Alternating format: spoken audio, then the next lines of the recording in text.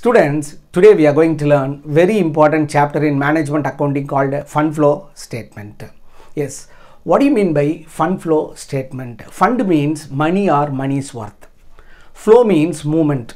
The movement may be inflow or outflow, inflow of fund or outflow of fund. So the fund flow statement which gives the clear picture about the inflow of fund and outflow of fund. Inflow of fund called sources, outflow of fund called applications. So this statement shows the clear picture about how the funds have been raised and its usage. Yes, for its preparation there are three steps. First step is schedule of changes in working capital. Look at the board. First we have to prepare schedule of schedule of changes in working capital. First we have to prepare schedule of changes in working capital. Before learning about uh, schedule of changes in working capital preparation, first uh, we should know the meaning of working capital. Working capital means funds available for day-to-day operations of the enterprises called working capital. How we can calculate working capital? By deducting current liability from the current asset. So formula for working capital is current liability minus current assets minus current liability. That means the current assets exceeds the current liability. So in this uh, schedule of changes in working capital, we have to take current assets and current liability. Yes, if current asset value increases, the working capital value increases. Current asset value decreases, the working capital value decreases. But as far as uh, current liability concerned, if current liability increases, the working capital decreases. If current liability decreases, working capital increases. Yes, now I am going to prepare schedule of changes in working capital. Look at the board. Its format particulars, particulars, previous year assumed as 2008, current year assumed as 2009. It may be increase or decrease. It may be increase or decrease. We have to take only current assets and current liability because we are dealing with the working capital. So current assets. Current assets. Current assets are stock, debtor, bills receivable, bank, cash, prepaid expenses, prepaid expenses, accrued income, accrued income and uh, marketable securities and uh, marketable securities also known as short term investment. So stock, take first one stock. Stock in 2008 10,000. In 2009 the stock value increased to 15,000. So current asset value increases so working capital will increase. Then debtor. In the beginning 8,000. Previous year the debtor value 8,000 now 10,000. What happened? Debtor is a current asset increases so there is a increasing in working capital. Then bills receivable 10,000 5,000. BR is a current asset value decreases so working capital value decreases. Then bank 20,000 30,000. So bank is a current asset increases so there is an increasing in working capital. Then cash 5000 8000 so increase in working capital. Then prepaid 15000 20000 increasing in working capital. Accrued income 4000 7000 increasing in working capital. Then marketable securities or short term investments in the beginning 30,000 current year its value 50,000 so current asset value increases so increasing in working capital. So if current asset value increases there is a increasing in working capital. If current asset value decreases there is a decrease in the working capital. Then we will take current liability. As far as schedule of changes in working capital concern we have to take only current assets and current liability of the previous year and current year. So current liability. Current liability creditor 20000 30000 so current liability concern if there is increase there is a decrease in the working capital. Then bills payable 10000 7000 So decreasing in bills payable, that is decreasing in current liability, increases the working capital. Then outstanding expenses 8000 9000 so increasing in the current liability decrease the working capital. Then income received in advance. Income received in advance. In the beginning 10000 here 6000 so what happened? Income received in advance is a current liability decreases. What happened? It will increase the working capital. Next uh, provision for taxation provision for taxation. Students we should be very careful about provision for taxation. If it is given under the current liability heading treat it as a current liability. If it is not given under the current liability heading we should treat it as a non-current liability. Here uh, provision for taxation given under the current liability heading i am treating as a current liability. Yes. Provision for taxation in the beginning 5000 closing 2000 so what happened? Provision for tax is a current liability. Value decreases so it will be recorded in the increase side. Then proposed dividend. Proposed dividend. Students proposed dividend if it is given under the current liability heading we should treat it as a current liability. If it is not given under the current liability heading we should treat it as a non-current liability. Yes in the beginning 5000 closing balance 7000 so what happened current liability proposed dividend value increases so it will be recorded in the decrease side. Yes. Then we have to total the net increasing in work uh, increasing in working capital gross increasing in working capital and gross decreasing in working capital. Yes. Here the gross uh, increasing in working capital is 58000 gross decreasing in working capital is 18000 so balance 40000 that we called net increasing in working capital. So gross increasing in working capital 58,000 it will be recorded in the both side then deduct uh, gross decreasing in the working capital we are getting 40,000 that we called net increasing in working capital.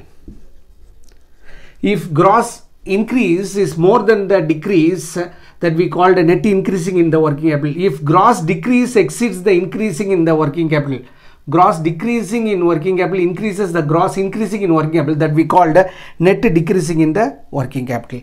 Students.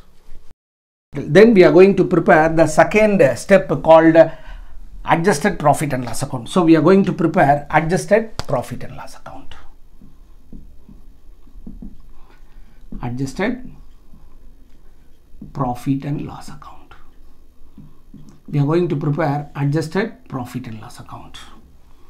Here we are going to ascertain fund from operation or fund outflow on account of operation. Okay. There are two years balance sheet are given. There are two years balance sheet are given. So opening profit and loss account should be credited. Opening profit and loss account should be credited. Closing profit and loss account should be debited when two profit and loss accounts are given. When opening profit and loss account given, it should be credited. Closing profit and loss account should be debited. When two profit and loss account are given. Sometime only net profit is given. So that time we can write a two net profit. If net loss is given, it will be credited. If net loss is given. Okay. Then, then we have to debit non-cash item and non-operating expenses. We have to add back non-cash expenses and non-operating expenses. First, we have to add back depreciation because it is a non-cash item. It is a non-cash item, depreciation. Then two, general reserve. General reserve transfer. General reserve transfer, it is not an operating expenses then any fund transfer any fund transfer it is not it is non operating expenses.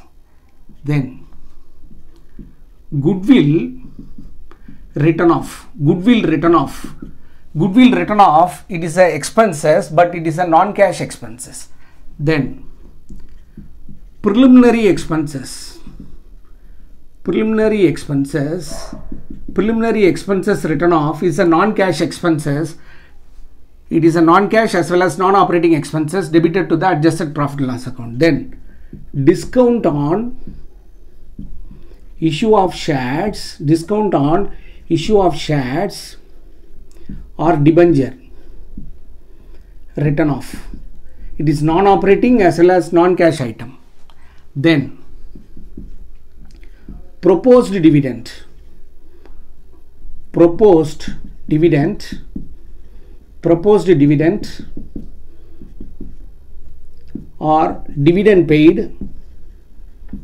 proposed dividend or dividend paid or interim dividend. These are all these are all non-operating expenses. We have to add back. Then provision for tax. Provision for tax or two tax paid. Two tax paid. Then two loss on sale of fixed asset. Loss on sale of fixed asset.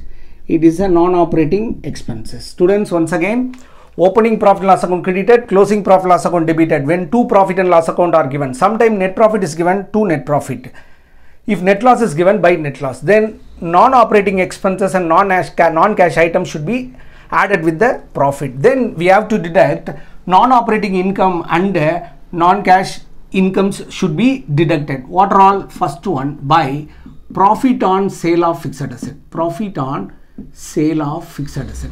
Profit on sale of fixed assets by income tax refund. Income tax refund then income from investments income from investments. It is also termed as interest from investments. Interest from investments. Okay then last one dividend received from other companies these are all non-cash income as well as uh, non-operating income. So by dividend received it is a dividend received from other company. So what we have to do? Debit side normally the debit side total exceeds the credit side total. So first we will total the debit side. The difference that we called funds from operation. The difference we called as fund from operation in short we can say FFO in short we can say FFO if debit side exceeds the credit side the balance will be in the credit side by fund from operation. Sometime the credit total exceeds the debit total. In that time the balance will be recorded in the debit side as to funds outflow on account of fund outflow on account of operation. We'll get any one of this so first we have to prepare schedule of changes in working capital. In that we will take current assets and current liability. Then in adjusted profit and loss account uh, we have to add back non-cash uh, expenses and non-operating expenses. Then we have to deduct non-cash income and uh, non-operating income should be deducted. We'll get a fund from operation or fund outflow on account of operation. At last the third step called fund flow statement. Last step is fund flow statement fund flow statement. It has two sides. It has two sides. Left side sources are recorded. Right side applications are recorded. Applications are recorded. Okay. First what we prepared we prepared schedule of changes in working capital. The outcome of uh, schedule of changes in working capital is net increasing in working capital. If net increase it will be in the application side. Net uh, increase in working capital. Net increasing in working capital is a application. If it is decrease it is a source. Net decrease. Net decreasing in working capital. It is a source. Then what we did we prepared adjusted profit and loss account. We ascertained fund from operation. Fund from operation is a source. Funds from operation is a source. If it shows the negative value it will go to the fund outflow on account of operation. It will be recorded in the application side. Fund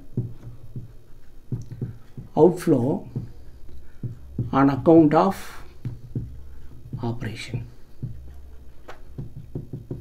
Then we'll consider other item. When fixed assets are purchased fixed assets purchased or acquired it will be in the application side if fixed assets are sold fixed assets sold recorded in the sources. Fixed assets sold. Then loan borrowed loan borrowed is a source. Loan repaid loan repaid or repayment it is a application. Then issue of issue of equity share capital issue of preference share capital issue of equity share capital issue of preference share capital issue of debenture these are all sources. If we redeem redemption of redemption of preference share capital. Redemption of preference share capital. Redemption of debenture. Redemption of debenture are considered to be application. Then proposed dividend or dividend paid both will not come any one will come. Proposed dividend or dividend paid or interim dividend paid. Interim dividend paid. Okay. Then provision for tax provision for tax or tax paid the sources and application both should agree. So the total of sources side and the total of application side should be equal. Students if you want to prepare fund flow statement first we have to prepare schedule of changes in working capital. Then we have to prepare adjusted profit loss account. Then we have to prepare fund flow statement. Students in the next class we will solve different problem. Till then bye and thank you